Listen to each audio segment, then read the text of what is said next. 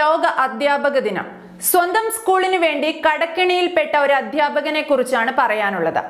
കരക്കുളം എട്ടാം കല്ല് Vidyadhiraja aided L P സ്കൂളിലെ പ്രഥമാധ്യാപകൻ ജെ പി അനീഷ്. അധികാരികൾക്ക് കത്തയച്ചിരിക്കുകയാണ് ഈ അധ്യാപകൻ ഇപ്പോൾ. സ്കൂളിലെ ഉച്ചഭക്ഷണത്തിന് പച്ചക്കറിയും സാധനങ്ങളും നൽകിയവർ പണം ചോദിച്ച് വീട്ടിലേക്ക് വരുന്നു.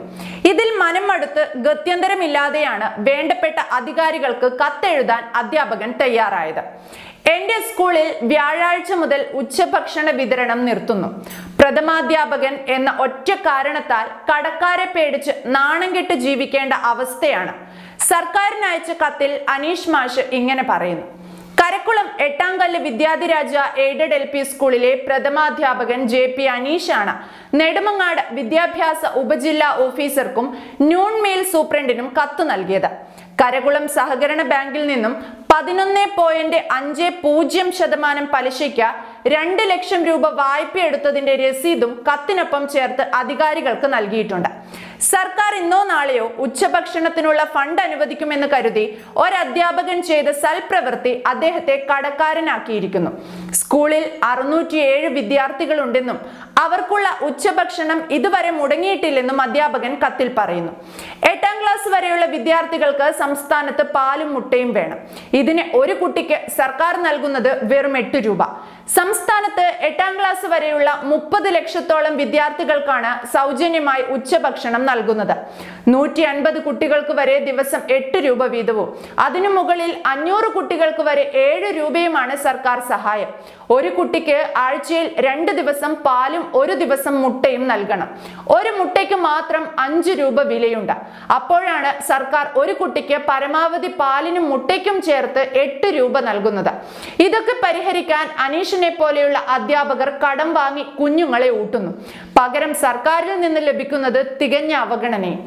നൂറ് കുട്ടികളുള്ള ഒരു സ്കൂളിൽ ഒരു കുട്ടിക്ക് എട്ട് രൂപയാണ് ഒരു ദിവസം സർക്കാർ അനുവദിക്കുന്നത്. കുട്ടികളുടെ എണ്ണം വർദ്ധിക്കുന്നതിനനുസരിച്ച് ഈ തുക ആറ് രൂപയായി കുറയുകയും ചെയ്യും. ഈ തുക ഉപയോഗിച്ച് എല്ലാ ദിവസവും രണ്ട് തരം കറികളും ആഴ്ചയിൽ ഒരു മുട്ടയും രണ്ട് ദിവസം പാലും നൽകണമെന്നാണ് നിർദ്ദേശം. പദ്ധതി നടത്തിപ്പിന് ആദ്യഘട്ടത്തിൽ സർക്കാർ അരിയും പയറും നൽകിയിരുന്നു. എന്നാൽ ഏറെ നാളായി അരി മാത്രമായി നൽകുന്നതിനാൽ പ്രധാന അധ്യാപകരുടെ ബാധ്യതയും ഏറി.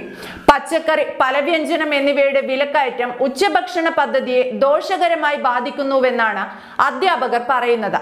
അഞ്ഞൂറ് കുട്ടികൾ പഠിക്കുന്ന സ്കൂളിൽ മുപ്പത്തയ്യായിരം രൂപയിലധികമാണ് ചിലവ്. സിലിണ്ടർ പാചകവാതകത്തിന് വില കൂടുകയും കുറയുകയും ചെയ്യുന്ന സാഹചര്യം. പാചകവാതകം മാത്രം ഉപയോഗിച്ച് ഭക്ഷണം പാചകം ചെയ്യണമെന്ന് സർക്കാർ നിർബന്ധിക്കുമ്പോൾ ഒരു മാസം പത്തിലധികം സിലിണ്ടറുകൾ ആവശ്യമാണ്. പാൽ മുട്ട എന്നിവയുടെ വില വർധനയും പ്രതിസന്ധി രൂക്ഷമാക്കുന്നു. കഴിഞ്ഞ വർഷം ഇതേ സാഹചര്യം ഉണ്ടായപ്പോൾ ആഴ്ചയിൽ ഒരു തവണ പാൽ നൽകിയാൽ മതിയെന്നും ഉച്ചഭക്ഷണത്തിനുള്ള തുക വർദ്ധിപ്പിക്കാമെന്നും സർക്കാർ അറിയിച്ചിരുന്നു. എന്നാൽ തുടർ നടപടികൾ ഉണ്ടായില്ല. ഉച്ചഭക്ഷണ പദ്ധതിയുടെ തുക വർദ്ധിപ്പിക്കണമെന്നാവശ്യപ്പെട്ട് പ്രതിപക്ഷ സംഘടനയിലെ അധ്യാപകർ ഇതിനിടയിൽ സമരം നടത്തിയിരുന്നു. തുക വർദ്ധിപ്പിക്കാമെന്ന ഉറപ്പിൽ സമരം അവസാനിപ്പിച്ചെങ്കിലും ധനവകുപ്പിന്റെ കടുത്ത എതിർപ്പ് മൂലം തീരുമാനം നടപ്പായില്ല.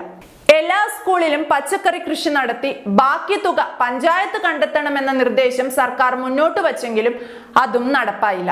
വേനലിൽ സ്കൂളുകളിൽ പച്ചക്കറി കൃഷി പ്രായോഗികമല്ലെന്ന് അധ്യാപകർ പറയുന്നു.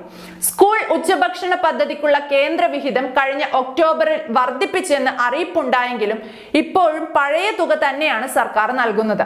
സർക്കാർ ഇനിയും അലംഭാവം തുടർന്നാൽ പദ്ധതിയുടെ നടത്തിപ്പ് അവതാളത്തിലാകുമെന്ന് അധ്യാപകർ പറയുന്നു. കഴിഞ്ഞ വർഷം പ്രഖ്യാപിച്ച പല കാര്യങ്ങളും ഈ വർഷം പോലും പ്രാവർത്തികമാക്കാൻ അധ്യാപകർക്ക് കഴിഞ്ഞിട്ടില്ല. കേരളത്തിലെ സർക്കാർ സ്കൂളുകളിലെ അധ്യാപകരെ സംബന്ധിച്ചിടത്തോളം കുഞ്ഞുങ്ങളുടെ ഉച്ചഭക്ഷണ പദ്ധതിയിൽ പോലും നേരാം വണ്ണം സാമ്പത്തികമായ ഇടപെടലുകൾ നടത്താൻ സർക്കാരിന് കഴിയുന്നില്ല എന്നത് ഏറെ വിഷമകരമാണ്. അത്ര ഹാപ്പി അല്ലാത്ത ഒരു ടീച്ചേഴ്സ് ഡേ ആണ് ഇവരെ സംബന്ധിച്ച് കടന്നു പോകുന്നത്